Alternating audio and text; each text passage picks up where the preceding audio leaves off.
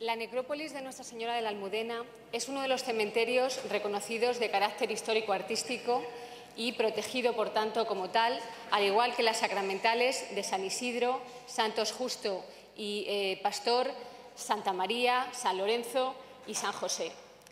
Este, en este cementerio, al igual que en sus anexos civil, hebreo y de epidemias, están eh, los restos de eh, personajes ilustres de la historia del mundo de la cultura, como por ejemplo Benito Pérez Galdós o Pío Baroja, del mundo del arte, como el torero eh, José Cubero Sánchez El Guillo o Lola Flores, también del mundo de la medicina, como el premio Nobel Santiago Ramón y Cajal, y también eh, personajes ilustres del mundo de la política, como el presidente de la Segunda República, Niceto Alcalá Zamora, o eh, el alcalde de Madrid, Enrique Tierno Galván, Dolores Ibarruri, o el fundador del PSOE, eh, Pablo Iglesias, entre muchos otros.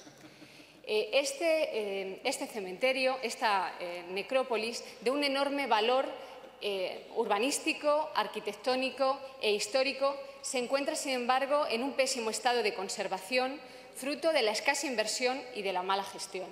Y todo ello a pesar de que existe una normativa urbanística municipal en cuyo artículo 489 se establece que los cementerios catalogados, en estos cementerios catalogados, debe conservarse tanto el trazado como el sistema viario, como los espacios libres, el arbolado o el ajardinamiento, etcétera. Dado que todo esto no se ha llevado a cabo durante estos años eh, adecuadamente, es ahora necesario eh, elaborar y poner en marcha un plan integral de rehabilitación. Plan integral como el que nos propone el Partido Socialista. Plan integral que entendemos debería elaborarse y acometerse en una fase posterior también en el resto de sacramentales protegidas. Es preciso eh, preservar, promocionar y poner en valor nuestro patrimonio histórico-artístico, el patrimonio histórico-artístico de estos cementerios, una joya olvidada de nuestra historia. Y es por ello que vamos a aprobar, vamos a apoyar esta iniciativa. Muchas gracias.